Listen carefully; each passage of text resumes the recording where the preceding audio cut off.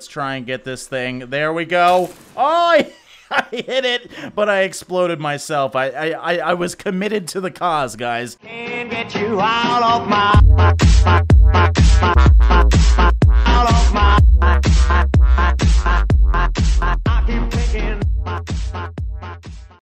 Merry Christmas, everybody. Happy Hanukkah, happy holidays, and whatever else you guys may celebrate around your neck of the woods. Just have a happy Friday. Today we're going to be playing some more Besiege, checking out some of the best Besiege creations that I could find in this very Christmassy episode.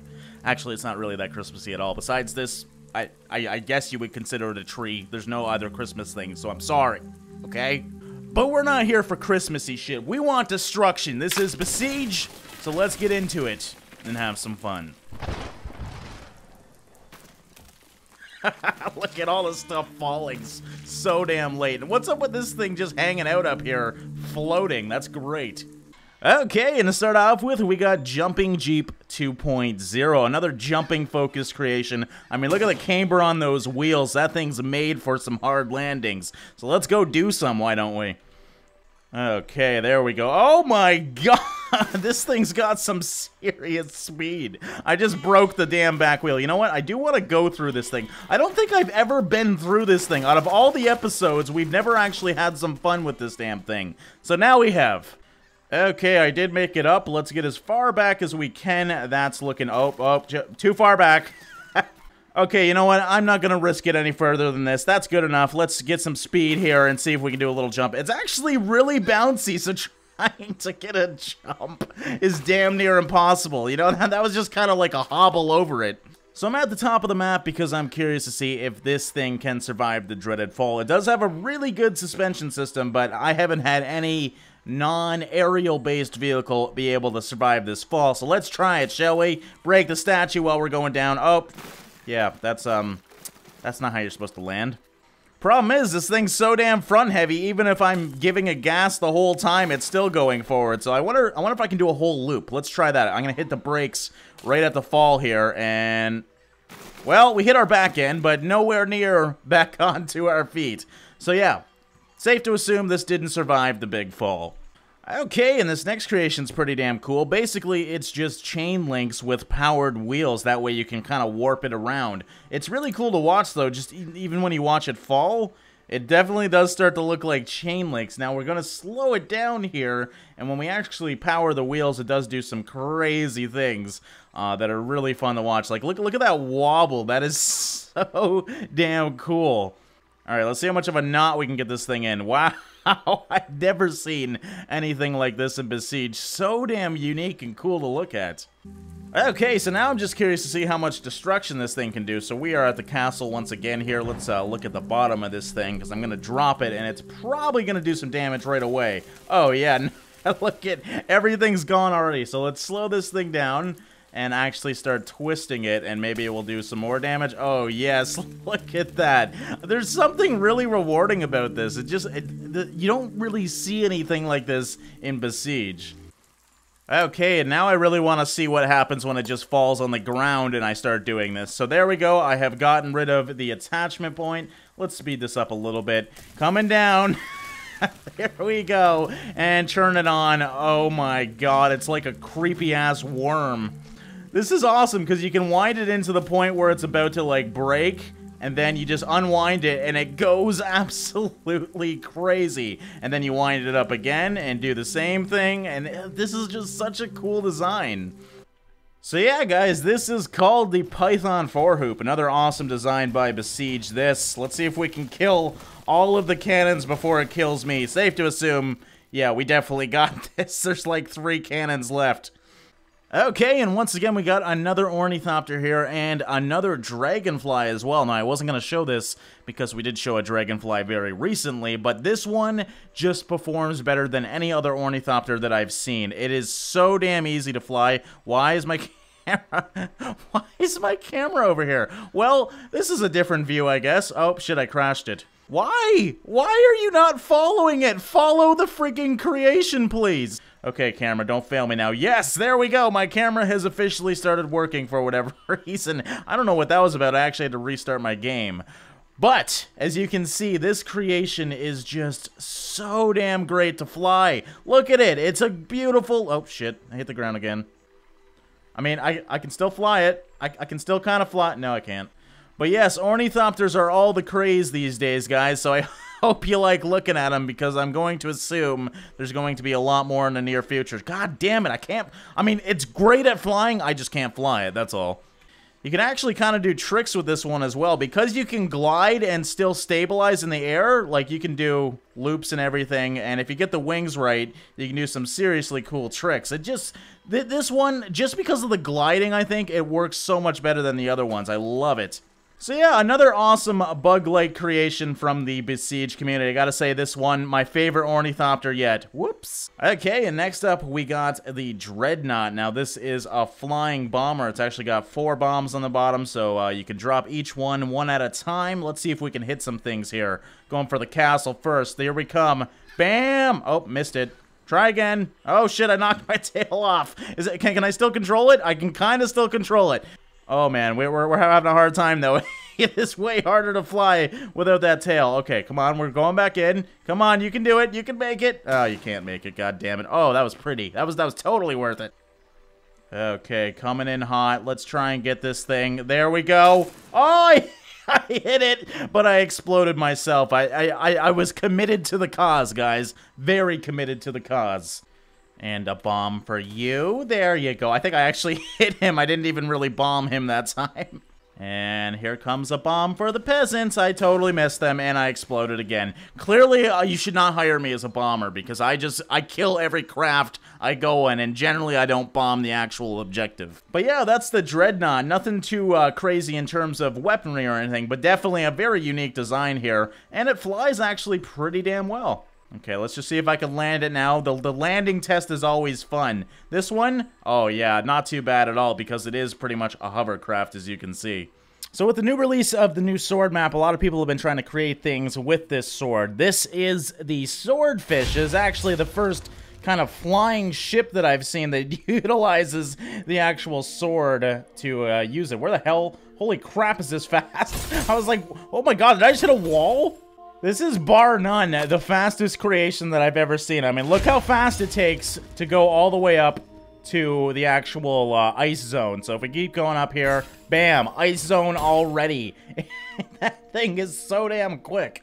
Now, I also don't know if they patched it, but I saw that people could go to the moon as well. Now, for whatever reason, as you can see, I'm hitting some sort of invisible wall here, so that's kind of a bummer. I was hoping to make it over there to the wonderful moon, but there's an invisible wall in the way. Level design aside, I gotta say, in terms of a flying craft, this is one of the easiest ones I've ever used, and it's a sword. Like, how, how hilarious is that? Okay, and sticking with the sword, we got the Saber now. Now, this is a transforming sword that makes the sword slightly more badass. There we go, so now it's in Saber form, and we can actually get it out of the ground here. This is in weightlessness, by the way. That's why it's kind of like floating right now. It's so beautiful. Look at this thing. Uh, you can make it go forward. I don't know how to use a lot of this. There we go. I am rotating it. Let's let's try and stabilize it a bit here. There we go. I have turned on all jets, and there's like some sort of like weird pattern going on here too. Look at you can see things like flying all around the place. It's oddly beautiful what's going on. I have no idea what it is but I like this design. So yeah, guys, that is the Saber Sword. I gotta say, very hard to drive, but very nice to look at. Okay, and here is a real design for the sword level. I just wanted to show this one to show you guys a different way to do the sword. This one way better than my design. Let's see if we can catch it. Did I catch it? I did catch it. Haha. okay, then it's as easy as assuming I don't hit anything with the damn sword. We're just gotta go over here. Excuse me. Thankfully, this is a digger, so... Actually, can I, can I lift this? That would be great. I gotta get this sword up. Alright, that's going to be a good enough. Unfortunately, you're not supposed to catch the sword sideways because, well, it's a lot harder to drive. But uh, let's fight it here and try and get through. I'm slowly making it. This is one of the better uh, designs that I've seen to complete this level, though. So there we go. Done. Uh, technically, I've already completed it, but uh, yeah, worked really well. All right, and next up we got a dozer here. It's been a while since we've seen a new track design, only because with the Besiege update, a lot of the track designs were actually broken. Now, Besiege this made this awesome little design here. This thing just looks like a beast. It's also got a really nice uh, actual front dozer here. You can rotate it. I believe you can put it up or down as well. Yes, you can lift the bucket as, you can see. It uses actual hydraulics to lift it. So let's go and uh, doze the peasant town, I guess. I've missed you, my wonderful peasants. It's time to doze down your town.